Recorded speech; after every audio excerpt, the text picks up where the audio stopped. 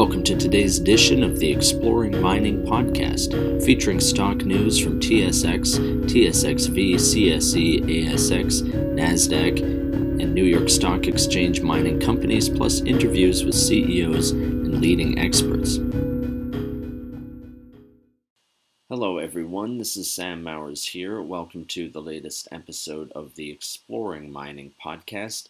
For news today, we've got the latest from Osisko Gold Royalties, Steppe Gold, Northern Graphite, and MineHub Technologies. But just before we get into the show, a quick reminder that if you enjoy this podcast, please feel free to share it or even leave us a review.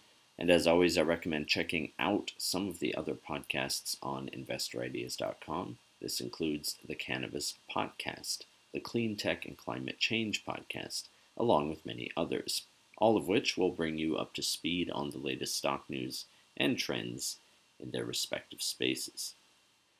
All right, so Osisko Gold Royalties Limited, which trades on the New York Stock Exchange under the ticker symbol OR, has completed an amendment to its 75% silver stream with respect to the Gibraltar Copper Mine in British Columbia, Canada. This mine is operated by a wholly owned subsidiary of Taseko Mines Limited, which trades on the NYSE American under the ticker TGB. This amendment, according to the press release, will increase Osisko's effective stream percentage by 12.5%, up from their 75, for a total of 87.5%.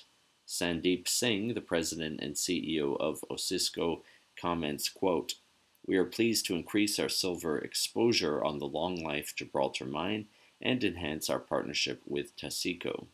Our shareholders will benefit from the increased silver stream, coupled with the approximately 1.5 million additional ounces of silver to be delivered to Osisko due to the extended threshold.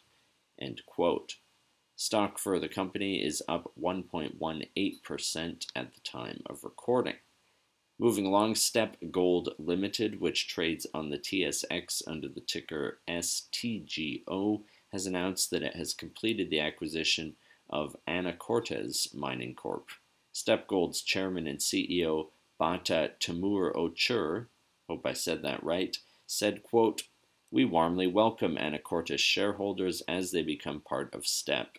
The strategic location of the high-grade Tres Cruces deposit, coupled with its excellent infrastructure, proximity to other mining operations and logistics, and the presence of a strong labor force instills us with confidence in the project's potential.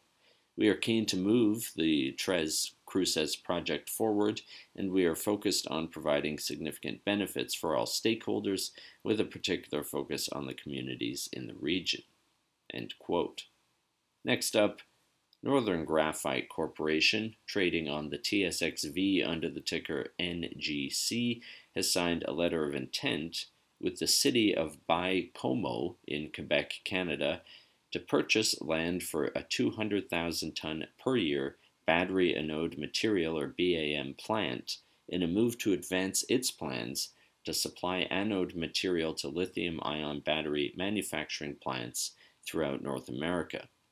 The company's CEO, Hugh Jacquemin, said, quote, This is a big step forward in our strategy to be an integrated, sustainable, cost effective mine to market supplier to the booming EV battery manufacturing market and a key player in North America's critical minerals strategy.